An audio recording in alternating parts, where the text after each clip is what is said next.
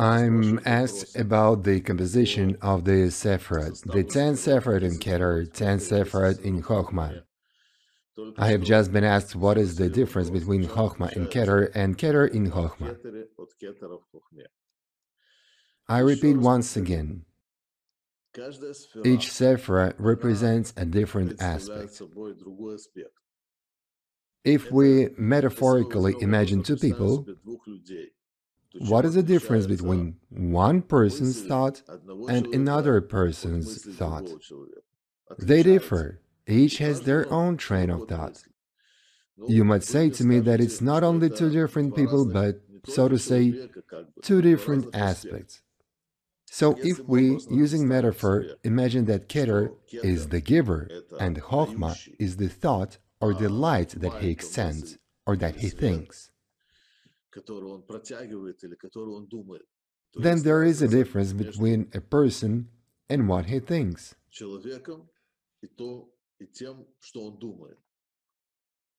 A person can think nothing and still continue to be a person. Let's say Keter is that person, and Chokhmah is what he thinks. So what is the difference between Keter of Chokhmah and Chokhmah of Keter?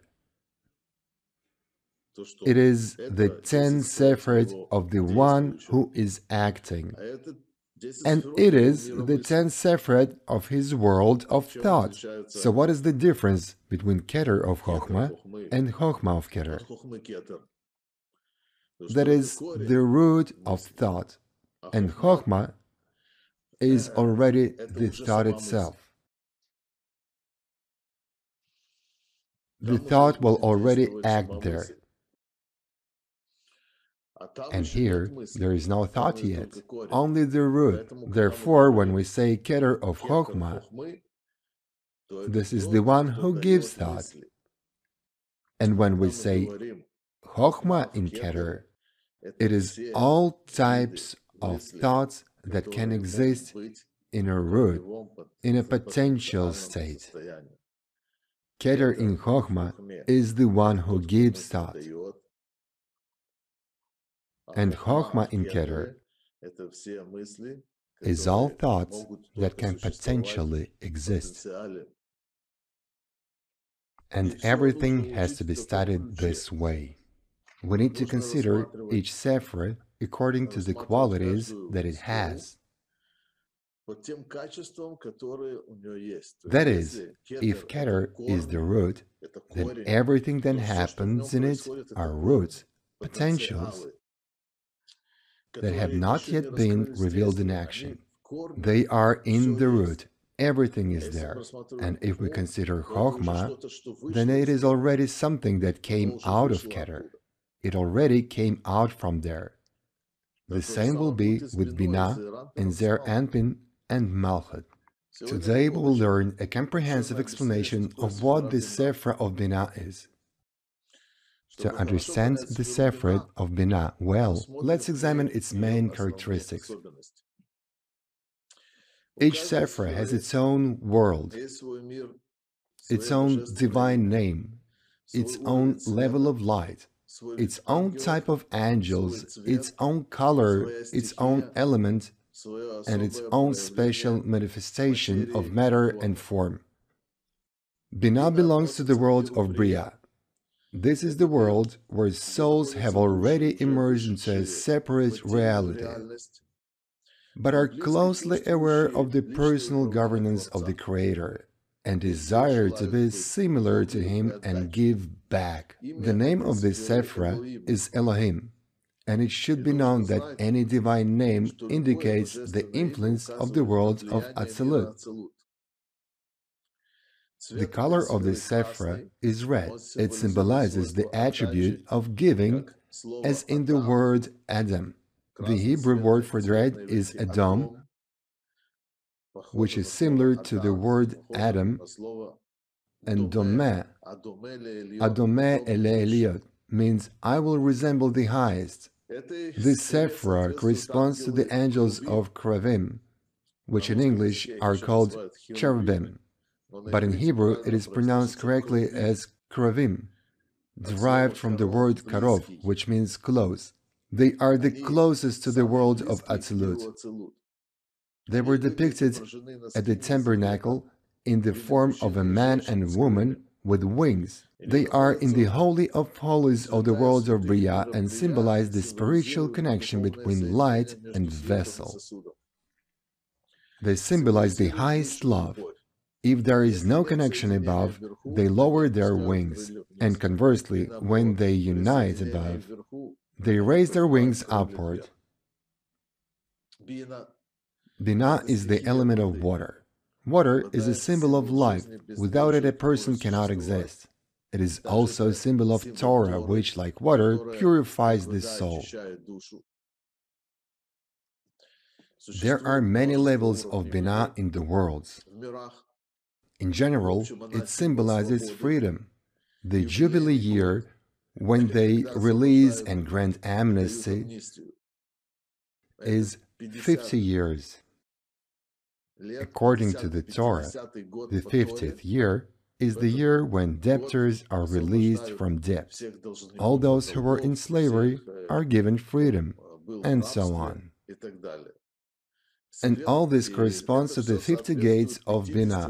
When you study more in-depth material, you will see that Bina has the concept of 50 gates of Bina. Bina has the property of rebounding and gives a person the opportunity to free themselves from the slavery of egoism, to be free from the opinions of people and material laws, to serve the Creator, to live according to His laws. We learned that there is Keter, and Keter is giving. He gives light. He wants to give light. And since we never talk about light without a vessel, because we do not speak philosophically, but about the worlds of the comprehenders, then we always say that the light comes together with the vessel. So we always say that the light is inseparable from the vessel. So we learned in the previous lesson that Chokhmah already includes a vessel. Only the vessel is the potential here, and it is completely annulled in the light that came out of Keter. It wants to give pleasure, and from it light came out. How much does it want to give pleasure? Infinitely. Bina is a sephra in which as it appears in the array, we must know the rule. When we give a name to something, it means that something has appeared. Since the name has changed from Chokhmah to Bina, this means that something new has appeared.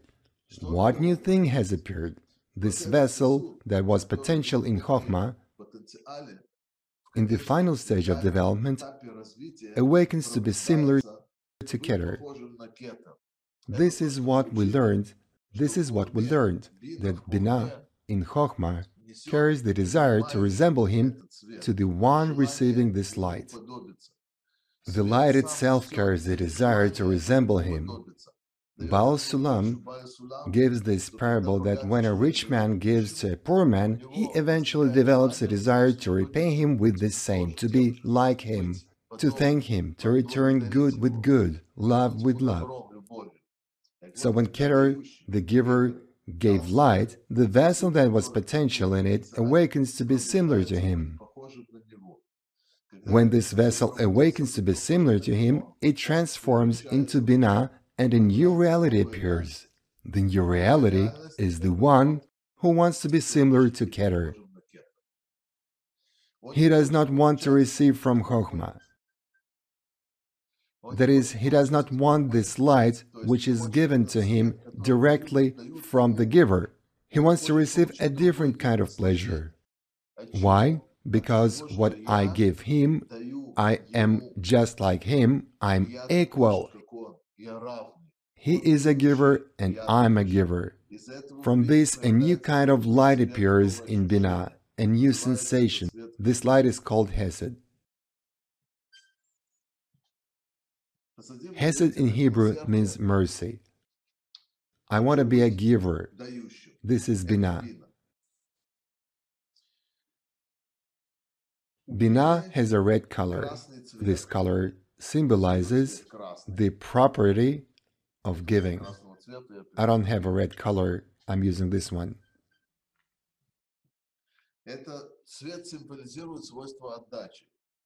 Red in Hebrew is Adam, from the word Adamen le'ilyon. I will resemble the higher one. The name that Binah has is written in Hebrew like this.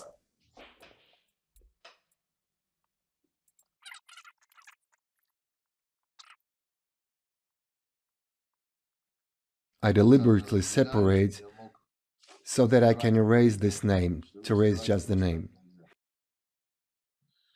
This is how the name Binah is written. Elohim is judgment.